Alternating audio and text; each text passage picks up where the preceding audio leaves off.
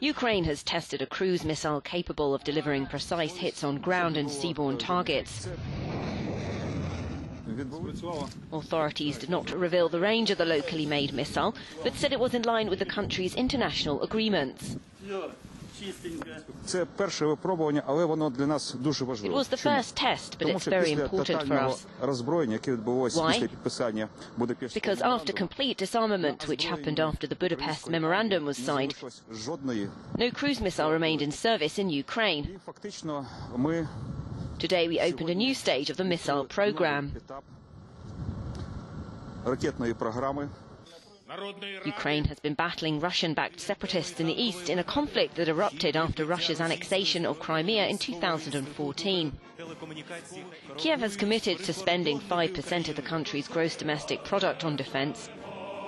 The name of the missile hasn't been confirmed, but it's thought to be based on a Soviet-designed subsonic anti-ship missile capable of sinking warships with displacements of up to 5,000 tons.